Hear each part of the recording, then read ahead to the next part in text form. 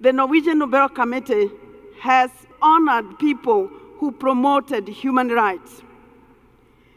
But in the year 2004, they wanted to make another shift to draw attention to the fact that the time has come for us to rethink peace and security, to appreciate that for us to live in peace with each other, it is necessary for us to manage the limited resources we have on this planet responsibly, accountably, and that it is very important for us to share these resources more equitably.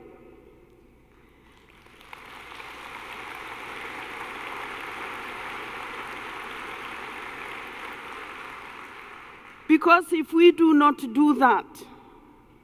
we promote causes of conflict. If we look around the world today, we will see that many wars, I don't care where, whether it is within the borders or outside, local or global or regional,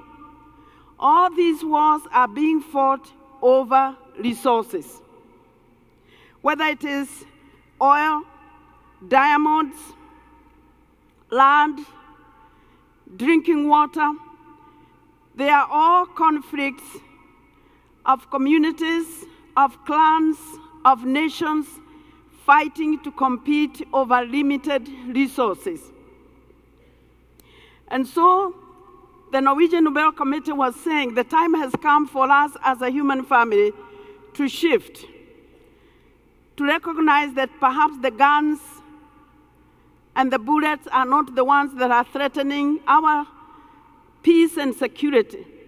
but rather the way we are managing our resources, the way we are wasting them, the way we are distributing them very unfairly and very unjustly, both at home and abroad.